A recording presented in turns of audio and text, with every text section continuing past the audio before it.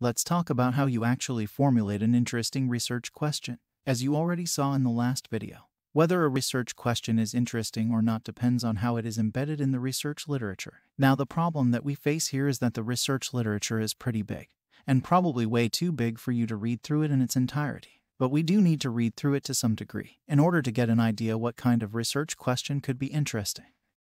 So, how do we do this? And the way to go is to first narrow down the research literature up to the point that he can actually manage it and read through it.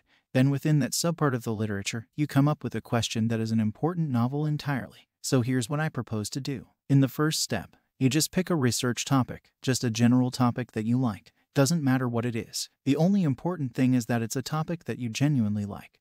Because you will spend a lot of time on this research project, and it makes it only easier if you actually find your research topic interesting. So, this could be anything like leadership, depression, gender equality, or whatever you find interesting. Then, in the second step, you take that topic and narrow it down further until the literature becomes manageable.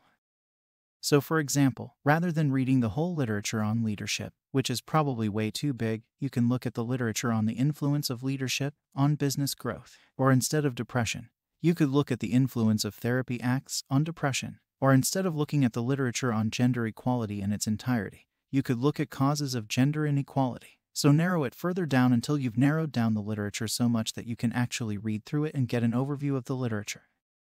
And then in the third step, you can read through the literature and try to formulate a research question that is important, novel, and timely based on the literature that you're focusing on. And there's no need to overdo this. The goal here is really not to write a whole literature review. But the goal here is simply to get an idea what the embedding of your research question could be in the research literature. So just writing a few sentences like you saw in the last video is already enough at this point. Remember that we don't want to spend weeks formulating your research question, only to discover later that we can actually answer it. So let's just get a general idea of what the embedding could be. Then we move to the research methodology and ask whether we can actually answer that question. Okay, so the key lessons of this video are to formulate an initial research question. Pick a broad research topic that you like, narrow it down until you can handle the literature, and then formulate a research question that seems important, novel, and timely based on that section of the literature.